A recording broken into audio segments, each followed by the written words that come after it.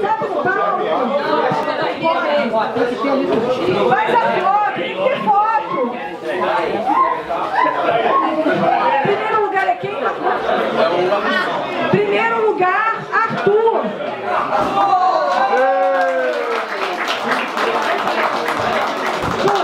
Gente, se fizerem silêncio, eu conto quem é esse maluco que está no primeiro lugar. Por favor, então, mergulhão. É uma coisa antinatural você chegar num avião, lá no alto, abrir a porta e se jogar. Ele participa dos cometas, que para a brigada paraquedista é o equivalente à esquadrilha da fumaça. Então ele faz salto livre.